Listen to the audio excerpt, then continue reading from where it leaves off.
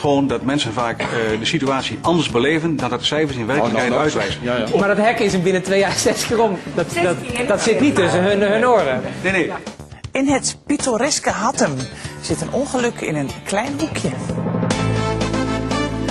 Hoor ik dit nu goed? Worden, worden wij zo behandeld? We willen gewoon een oplossing. Ik vind het schande. Dan zeg ik dat lieg je. Ik heb elk jaar geklaagd. Ik vind dat een regelrechte belediging. Dankjewel.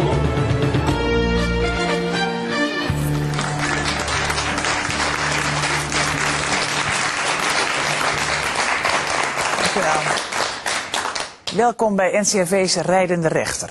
Tot voor kort konden de familie Kinket en de gemeente Hattem goed met elkaar door de bocht. Maar dat verandert wanneer de gemeente een, nieuwe weg inslaat. Hattem, onder de rook van Zwolle. Tien jaar geleden kopen Ger en Henry Kinket hier hun huis aan de drukke weg De Hoge Kamp. Wij wisten dat het gewoon een eh, drukke straat was. Dus ik had, ik zei ja, we komen er zelf ook door en eh, een beetje drukte om het huis, daar heb ik geen probleem mee. Maar de gemeente Hattem vindt De Hoge Kamp te druk. De Hogenkamp eh, wordt door het verkeer gebruikt als doorgaande route. En omdat die doorgaande route juist is gelegen in een woonwijk, hebben wij toch de indruk dat we daar sterk eh, verbeteringen moesten aanbrengen. Vandaar ook dat wij daar het verkeersluw willen maken. Begin 2004 neemt de gemeente De Hoge Kamp op de schop om het vrachtverkeer er weg te krijgen. Er komen drempels en borden in de straat en dat is niet het enige. We hebben de straat wat minder breed gemaakt en ook de bocht bij de familie Kinkert is eh, wat minder breed gemaakt. Zodat daardoor de zaak ook fysiek eh, eh, meer een 30 kilometer straat is geworden. Maar het vrachtverkeer laat zich niet ontmoedigen. Het blijft koppig door de Hoge Kamp rijden. Alleen kan het nu de bocht niet meer nemen. Met desastreuze gevolgen voor het hek van de familie Kinket. Het hek wordt continu aangereden. Komen zulke grote traders, de grootste die je maar bedenken kunt. Die, eh, die komen hier om de hoek en dan rijden ze zich vast en dan steken ze twee keer en dan zitten ze helemaal vast. Dus dan denken ze, ja neem het hek maar en dan, eh, en dan gas erop hè, en wegwezen. Als het hek binnen twee jaar meer dan tien keer omver wordt gereden, is de maat voor het echtpaar Kinket vol. Ze schrijven de gemeente aan. Het probleem is even van, van wie moet daar nu gaan betalen? Wat kunnen we eraan doen met z'n allen? En wat wordt er gezegd? Er wordt gezegd, verhaal het maar bij de vrachtwagenchauffeur. Het is natuurlijk zo dat eh, degene die de schade veroorzaakt in eerste instantie natuurlijk eh, dat zou moeten betalen. En dat is de vrachtwagenchauffeur of het vervoerbedrijf. Ik baal hiervan, van de hele situatie. De volgende keer als ze er tegenaan rijden, nou, dan is het toch niet zo dus dat wij zelf die schade weer moeten gaan betalen. Rijdende rechter, wij zijn het zat dat ons hek aan God wordt gereden. De gemeente moet hier iets aan doen en tot die tijd opdraaien voor de kosten.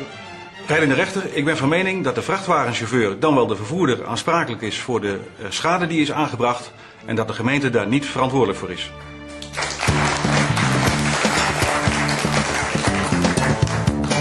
Nou, hartelijk welkom. Eh, hoe vaak is het hek al kapot gereden, mevrouw? Tien keer. Tien keer. Tien keer.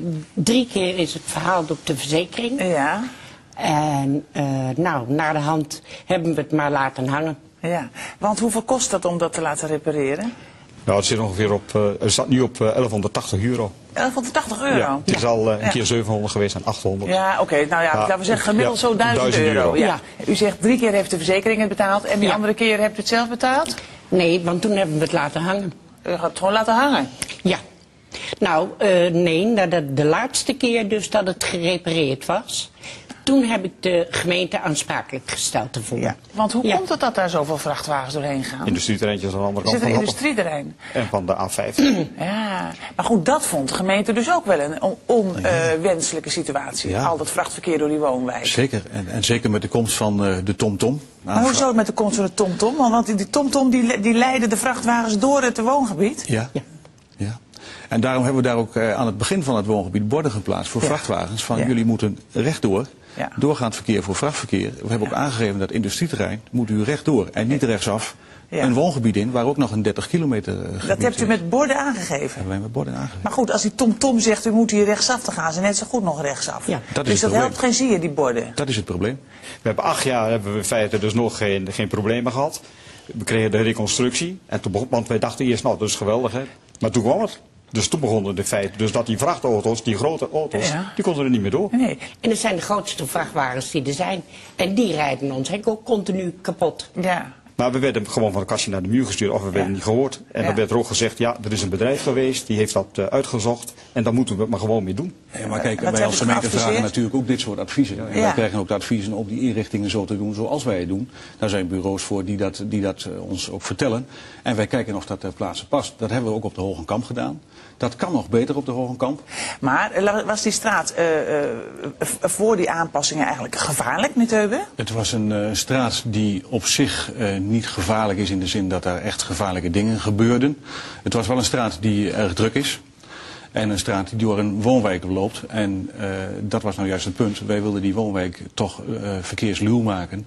En daardoor ook maatregelen treffen, zodat Ja. je daar ook prettig kunt wonen. Ja.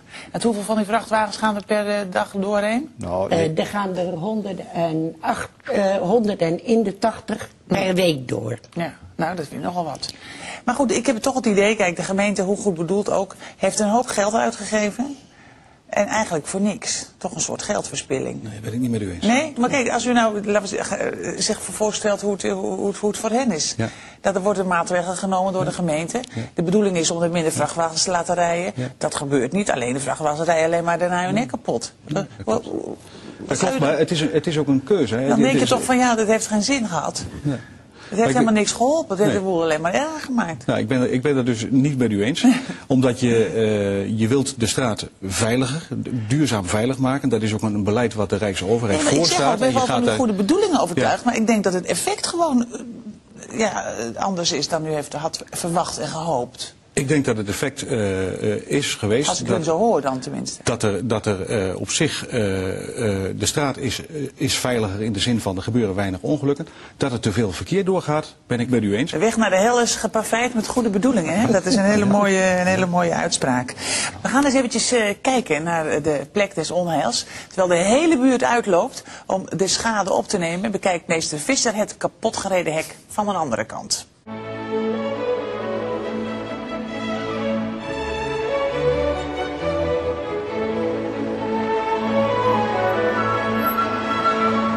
Dag.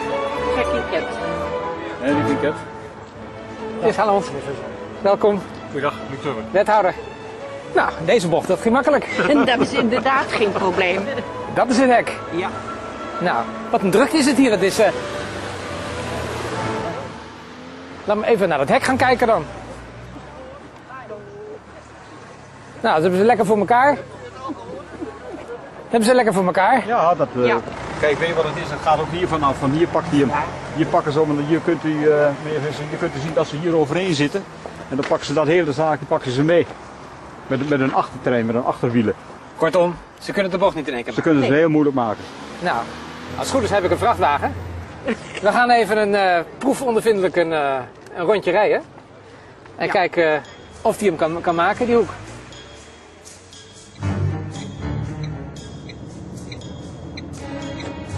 De bedoeling is dat wij die hoek gaan nemen. En het zou heel prettig zijn als we dat hek heel kunnen laten.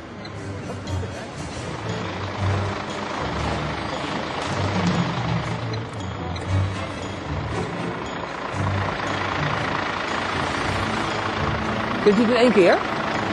Kijk, ik zit helemaal bij de stoep. Ja. Maar het kan dus. Weet je wat? Dan ga ik er nu uit. En dan zou ik u willen vragen of, het, eh, of u het nog een keer, keer kunt, eh, kunt doen. Dat bochtje. En dan kan ik even buiten kijken.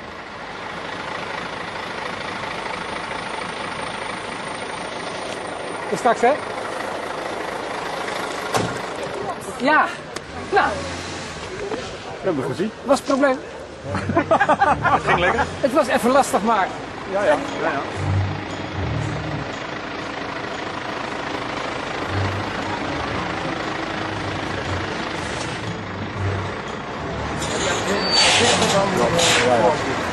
Hier is wel een kritisch. ja.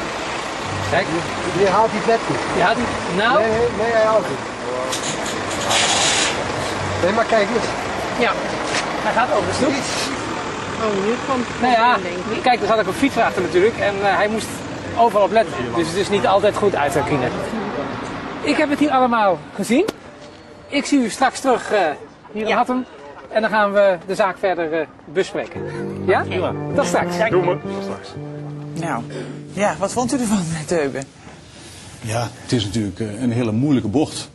En ik begrijp ook niet dat dit soort vrachtwagens uh, deze route kiezen. Echt een woongebied inrijden, waar dus duidelijk een 30 kilometer bord staat, waar een woonerf staat. Ja, ja ik, uh, ik weet het niet, ik ben uh, geen vrachtwagenchauffeur, maar nee. ik, ik, denk toch dat, dat, dat deze mensen zich moeten realiseren dat ze met dit soort combinaties niet in dit soort straten horen te rijden. Zeker niet als ze daar niet horen ja. te zijn. Ja. kijk, als er een verhuiswagen langskomt, dan kom je daar niet onderuit natuurlijk. Nee, maar ja, ze doen het. En uh, u vindt, geloof ik, dat de schade maar verhaald zou moeten worden op de vrachtwagenchauffeurs. Hoe moeten zij dat doen? Hebt u het wel eens geprobeerd, mevrouw? Uh, jawel, uh, mijn man is er een keer midden in de nacht. Is die achter een vrachtwagenchauffeur aangegaan. En die heeft hij gepakt bij de afrit van de A50. Die vrachtwagenchauffeur stond zijn schade op te nemen. Je had zoveel schade dat hij, uh, dat hij in feite zelf niet verder kon. Als een auto. Als een auto, ja. Ja, we hebben hem gevat. We zijn ervoor gaan staan. We hebben de politie gebeld en die is gekomen. Die heeft een verbaal opgemaakt uh, ten opzichte van doorrijden van, uh, door schade. Maar dat betekent dus eigenlijk dat u voortdurend achter die vrachtwagenchauffeurs aan zou moeten rijden? Ja, Mevrouw heeft een stoeltje, die gaat daar zitten en die kijkt de hele dag van, hey, nu gebeurt het. Ja, s ochtends om 6 uur, want dan ja. rijden ze al. Ja. Dus dan tot midden in de nacht. zet ik, ja. En dan kan ik, kan ik mijn schade verhalen dus bij de vrachtwagenchauffeurs. Ja zo simplistisch denkt maar, de gemeente. Oké, u zegt zo simplistisch denkt de gemeente. Nou, Nee, van enig simplisme is, is geen sprake. Ik vind het ook een bijzonder vervelende situatie, laat, laat dat duidelijk zijn. Ja, u bent hier ook gekomen. En het is, ook niet zo dat wij nou denken van de familie Kinkert, zoek het, zoek het maar uit. Nee, we hebben dit ook uh, heel duidelijk met elkaar... Nou, sorry hoor. Nee, nee, maar nu moet, moet, u mij even laten uitspreken. We, nee, hebben, we hebben dat heel duidelijk met elkaar ook gezegd van, jongens, die situatie op de Hoge Kant moet beter. Maar u moet zich wel realiseren dat als we bij u een oplossing bij u creëren, dat we de oplossing, of dat we het probleem ja, ja. weer naar een andere straat verhuizen. En Hattem is een, een kleine gemeente, ja. op een klein stuk grondgebied, een prachtige gemeente overigens. Ja, mooi stadhuis. Ja, ik, ik, hoop dat u het kent. En anders moet u een keer langskomen. Maar het is een prachtige gemeente op een klein stuk grondgebied. Met een beperkt wegennet. En op dat wegennet moeten we het met z'n allen doen. Ja. En dat is toch... Kunt u zich voorstellen dat de familie Kinket u aansprakelijk stelt, zo langzamerhand? Nou, ik kan me voorstellen dat de familie Kinkert goed zat is. Dat als het zo vaak gebeurt, dat je dan te lange lessen denkt van wat moet ik er nu mee? En dat je dan een keer naar de gemeente toestapt. Dat kan ik me ook nog voorstellen. Maar ik denk ook dat de familie zich moet realiseren dat wij als gemeente voor dit soort zaken niet aansprakelijk gesteld kunnen worden. Want stel dat ik door een rood licht rijd en ik veroorzaak schade, dan kan degene die die schade geleden heeft niet naar de gemeente toe gaan en zeggen, wat betaal ja, jij maar. Is een andere, hele ja, andere kwestie. We zullen zien, nee, we, zullen zien we zullen zien hoe het zit. We gaan naar de hoorzitting. De familie Kinket is niet kapot van de aanpassingen aan de Hoge Kamp. Het hek daarentegen wel. De situatie terugdraaien past niet in het straatje van de gemeente.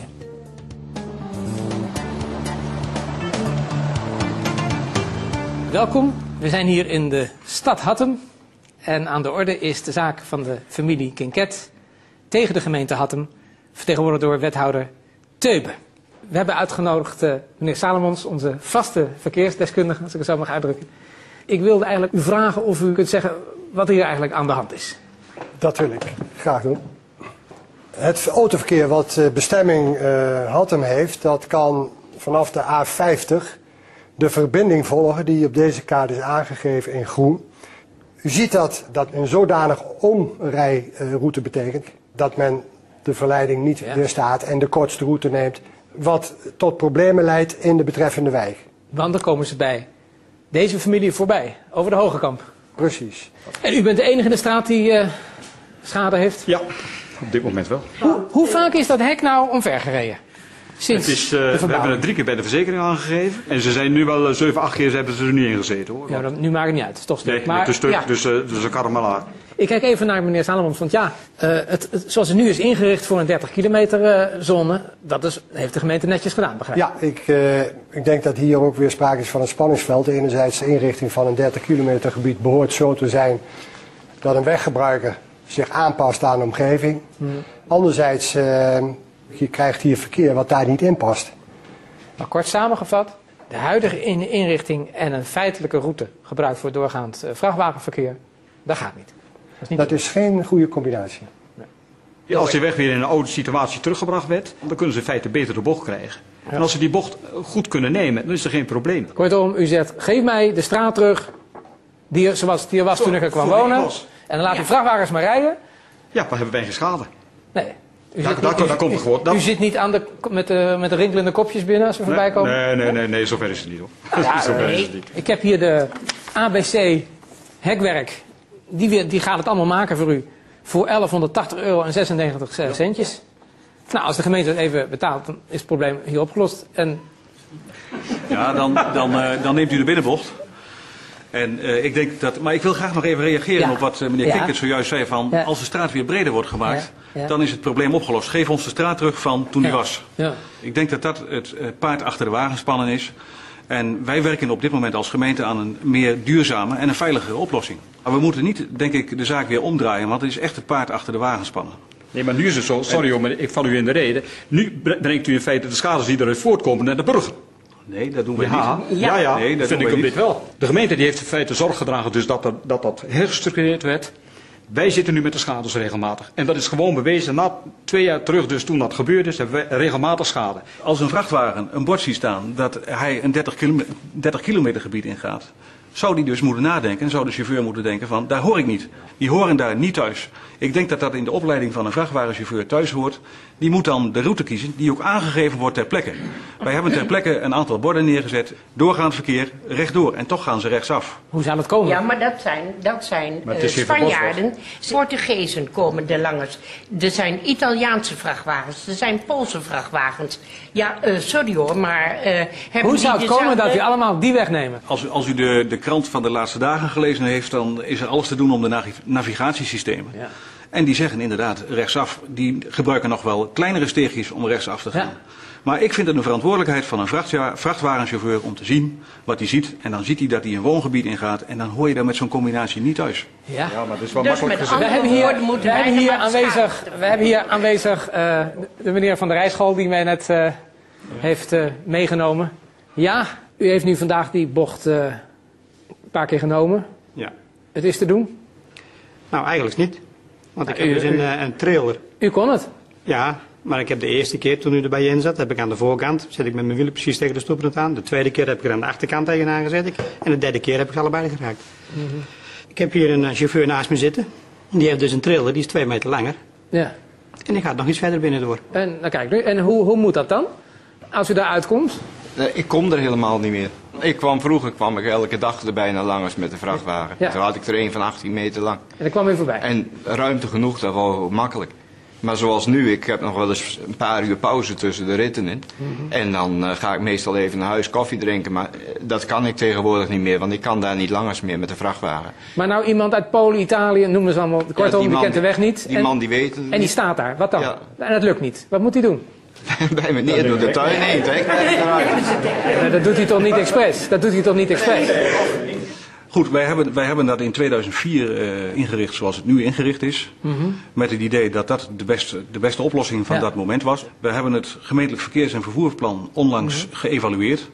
En twee weken geleden hebben we het besluit genomen om eh, de woonerven definitief te gaan verbieden voor vrachtverkeer. Behalve bestemmingsverkeer. Behalve bestemmingsverkeer, want dat zul je altijd moeten toelaten. Maar nou komt er straks een bord te staan. Verboden voor vrachtwagens. En dan komen ze uit Polen, Italië, Ja. noem maar eens op. En die mensen die, hun navigator zegt, Ja. rechtsaf. Wat denkt u? Gaat u een dat- agenda zetten? Ja, maar ik denk dat ze in Polen dezelfde bordjes hebben als in Nederland. Ja, maar, maar wat ik bedoel is, dan ben je bijna thuis of je bent bijna ter plekke even een paar honderd meter eh, een wie. En als er, een, er staat toch een agent. En die garantie kan ik u nooit geven. Nee. Probleem blijft dan. Ik heb in het begin ook gezegd, ik vind het ontzettend vervelend voor de familie Kinkert. Aan de andere kant, er zit ook een verschil tussen beleving en werkelijkheid. En ik merk het gewoon dat mensen vaak eh, de situatie anders beleven dan dat de cijfers in werkelijkheid nou, nou, uitwijzen. Ja, ja. Maar Daar ben ik wel mee eens. Maar de, Ja. de gevolgen na Maar, twee jaar maar, dat hek, maar dat hek is hem binnen twee jaar zes keer om. Is dat, dat, dat, dat, zit niet tussen hun, hun oren. Nee, nee. Het probleem is duidelijk en de, en de wethouder onderkent het pro- eh, probleem ook. De vraag is even of de huidige situatie dusdanig is dat de gemeente daarom moet betalen voor het hek. Ja. Dat is eigenlijk de vraag. Ja. En die moet ik gaan beantwoorden en dat doe ik niet op dit ogenblik. Dat, eh, ik zie u binnen hele korte tijd terug in de studio in Hilversum en dan zal ik u zeggen wat ik er juridisch gezien van vind. Ja, wat zegt u? Er zit een verschil tussen beleving en werkelijkheid, hè, had u het over? Wat bedoelt u daar precies mee? Dat bedoel ik niet dat het hekje plat ligt, want dat hekje ligt wel degelijk plat. Dat is natuurlijk een duidelijke zaak. Maar mensen beleven het vaak anders dan het in werkelijkheid is. U, u noemde net aantallen vrachtwagens. Nou, dat kun je pas op, uh, exact uh, weten op het moment dat je het gaat meten. Dan kun je ook zien of het af of toeneemt. Ja. En in de beleving is het vaak een andere. Wat ik nog wel zou willen weten, hoe, wat zou u het liefste willen? Dat de situatie wordt teruggedraaid? Nee, vrachtwagens uit de wijk. De vrachtwagens uit de wijk. En ja. hoe zou de gemeente dat voor elkaar kunnen krijgen, denkt u? Uh, gewoon uh, verbodsborden. Verbodsborden. Wij kunnen die ja. op uw wenken bedienen. De gemeenteraad heeft onlangs het besluit genomen. Het wordt afgesloten voor vrachtverkeer. Ja. Nou, daar geldt een bezwaarperiode voor van zes weken. En op dat moment kunnen we de borden gaan plaatsen als er geen bezwaren zijn. Ja. En die zijn er op dit moment niet. Dus wij verwachten dat we die borden een, kunnen plaatsen. Een, een bord verboden voor vrachtwagens. Maar ja, als, nogmaals, als er geen agent staat, ja, en dat is, en dat is dan uh, de volgende fase die je dan ingaat. Ja. Van, uh, nou zijn er toch overtredingen. En wat kunnen we dan? Nou, dan kun je door middel van, zoals we dat noemen, handhaving... Kun je proberen uh, de mensen op te sporen die dus tegen de regels ingaan. Maar nogmaals, ik kan u niet garanderen dat er dan niet een vrachtwagen is die alsnog door die straat gaat rijden. Ja, het is ingewikkeld. Het is ingewikkeld. Maar goed, nu komt de uitspraak over de kwestie of de gemeente aansprakelijk is. Eerst nog iets anders. Brengt u zich ook in allerlei bochten, maar wil de gemeente niet luisteren? Dan kunt u ook bellen. Met 0900 1301. Moet mevrouw Kinkets op een krukje langs de weg blijven zitten om de vrachtwagenchauffeurs aansprakelijk te stellen? Of draait de gemeente op voor de kosten? Hier is meester Visser met uitspraak.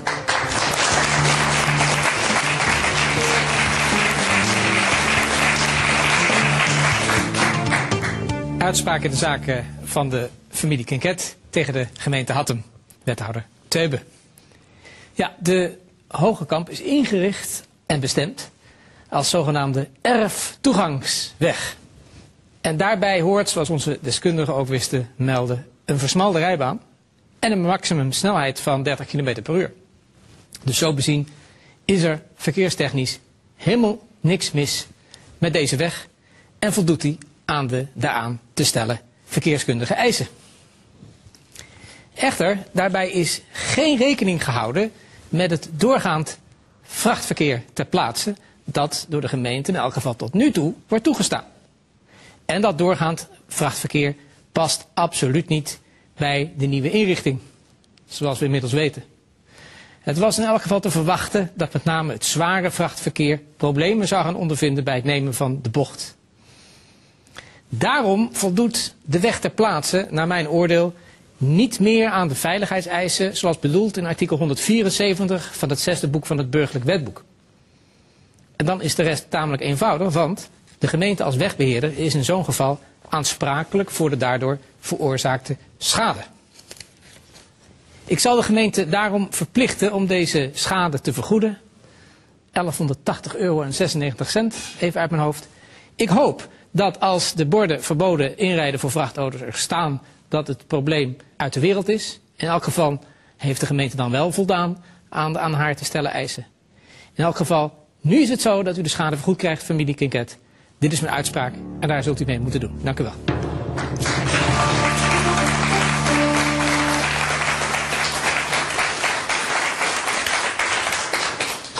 Nou, blij? Ja, inderdaad. Ik vind dus dat hier recht is gedaan. Ja. Dat verbodsbord komt er in ieder geval. Ja. ja. U, had het, u, ja. u had het niet verwacht, hè? Nou, ik moet, moet eerlijk zeggen dat ik... Uh, laat, ik laat ik dit zeggen. Ik, nou, heel ik, kort, laat ik, laat ik de familie Kinkert van harte feliciteren. Ja. Maar ik vind dit, uh, dit zijn overwinningen die wij denk ik niet moeten vieren... en ook nederlagen die we niet moeten leiden. Ja, maar u gaat nu zorgen dat het niet meer gebeurt. Wij gaan ons best doen om in ieder geval de straat zo te maken dat het, uh, dat het niet zou moeten gebeuren. Goed, oké. Okay. Nou, in ieder geval hartelijk dank voor uw komst. En u ook. Erg gefeliciteerd ja. en voor uw, uw sportiviteit. U bedankt voor het kijken. Tot ziens.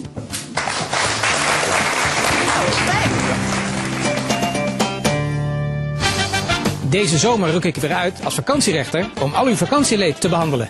Bel 0900 1301 of mail naar vakantierechter.idtv.nl. Let op, verzamel wel zoveel mogelijk bewijs, liefst op video.